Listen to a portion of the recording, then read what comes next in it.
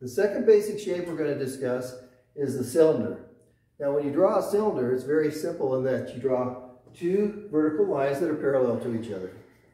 Now, depending on where your horizon line is, the top will be different. If your horizon line, which we've defined that as your eye level, okay, it's right there, and that's the top, then all you would see would be a straight line going across. That's all you would see. You wouldn't see any curve to it.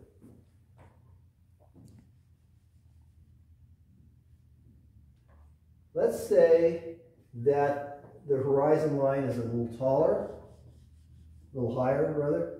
We're going to put it up here. And the top of the can would be about here. So what you want to do is draw a line straight across at right angles to the side.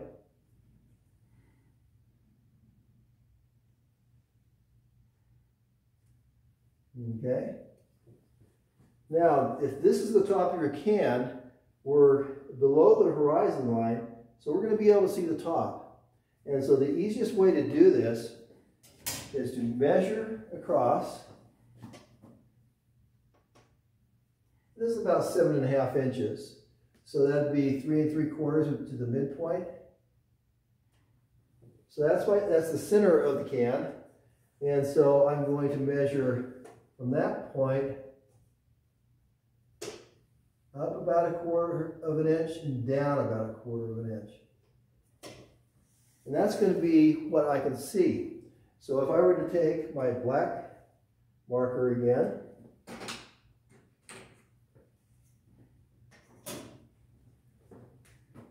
I'm going to come from the corner and come right straight through that point.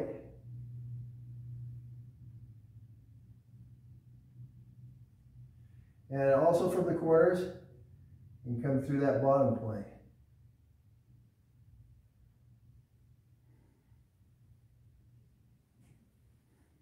And when you're doing this with a pencil, you simply sketch very light, and do a couple of lines until you get it down. And then once you figure out where it looks the best, then you can darken it in.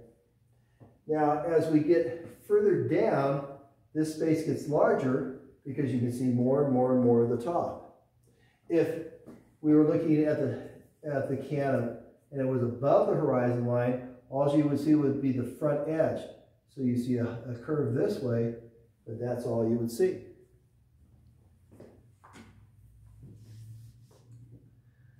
Now as I get down to the bottom, because we're getting further and further from the horizon line, you're going to see more of it. So if this was a, uh, say a glass cylinder, and you can see through it and see the back edge, you see a much larger oval than you see up here.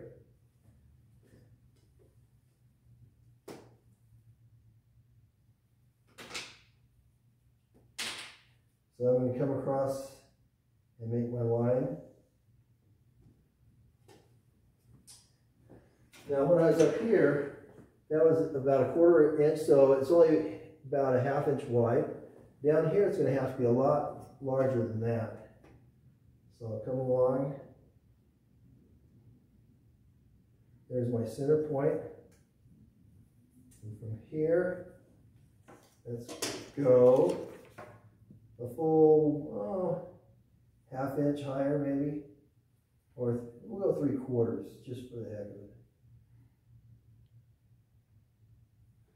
Okay, now if this was transparent or translucent, as I mentioned, you'd see the whole uh, curve, but all we can see is the front down here because our cylinder is solid.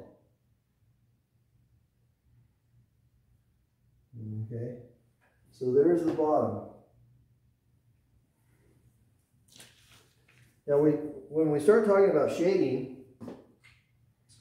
there's, we talked uh, about how the light source is coming down this direction. Okay. That means that the top of the, of the cylinder is going to be in light, so it's going to be quite bright. But just like uh, before, you'll notice that there's a spot where suddenly there's a big shadow. And since this light source is a little bit to the front, that light source is going to pass by the cylinder a little bit on this side.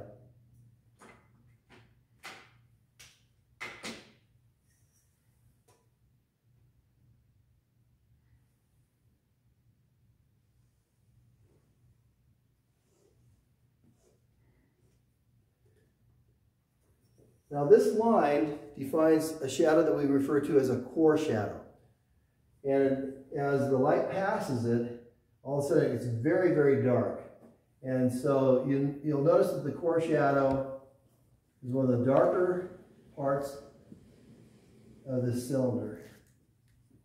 And then as it comes around, it'll be a little bit lighter, not a lot lighter, but you'll notice it. And then as we get to this far side, once again, the shadow will be dark.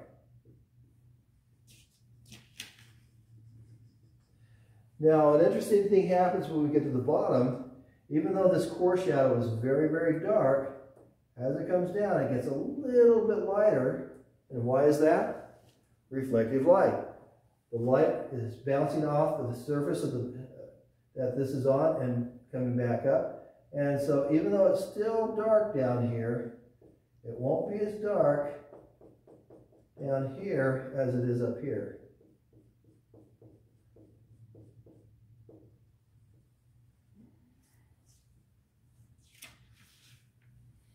Okay. The other thing about this is this is where the light is passing by the cylinder. So this is where the cast shadow starts. So the cast shadow is going to come right from here. And then it would also be coming from the other side so it'll come out this way.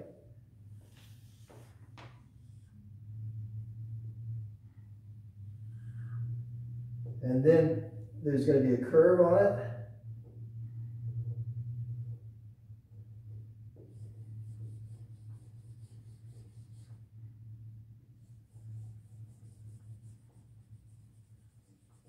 Of course, markers don't really shade very well, but uh, once again, it'll lighten up a little bit as we get to this, uh, the cylinder, only because there's more light bouncing off of different surfaces.